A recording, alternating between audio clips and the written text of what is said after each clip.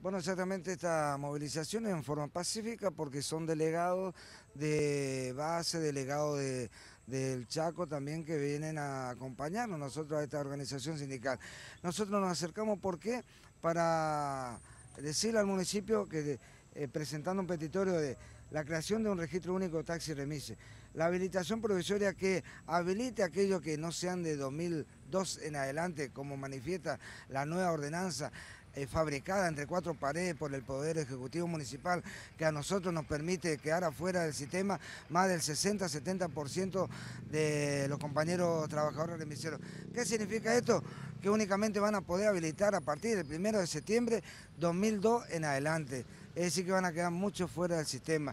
Y entonces queremos nosotros abrir un padrón o registro único para verificar y testimoniar evidentemente quiénes son choferes, quiénes son patrones, porque volvemos a repetir diciendo de que los colores no identifican una seguridad. En ninguna parte del mundo hay colores que significan seguridad los colores no identifican seguridad en cualquier parte del mundo. Es decir, que es una barbarie que la caja municipal permita hoy a los trabajadores remiseros plotear, cambiar el color que antes era pintar de verde, hoy de blanco, eh, permite dar un crédito. Entonces nosotros pedimos, para estar dentro de la legalidad, eh, como permite esta nueva ordenanza fabricada en cuatro paredes a oscuras, con el Poder Ejecutivo Municipal, que nos permita acceder, habilitar en la caja municipal un auto cero kilómetros, como así también en un momento permitió el gobierno de la provincia del Chaco con el tema del ICI respecto a que si se logra un acuerdo, la mayoría de los remises terminan siendo blancos,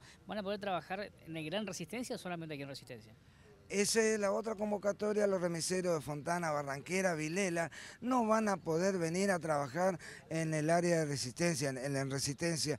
¿Por qué? Porque no les permite supuestamente esta nueva ordenanza, vuelvo a repetir, fabricada en cuatro paredes y acordada con la PAR. La PAR es Asociación de Propietarios de Agencias de Radio que únicamente dan un, servicio telefónico y que por semana cobra al propietario que tiene nucleado como más de 70, 80 eh, vehículos y que tienen que pagar por semana. Es decir, que los verdaderos remiseros somos nosotros, los propietarios que están pagando la base. Por eso también que tomen conciencia que a partir los trabajadores remiseros a partir de septiembre, primero de septiembre, lo que no son 2002 en adelante no van a poder trabajar.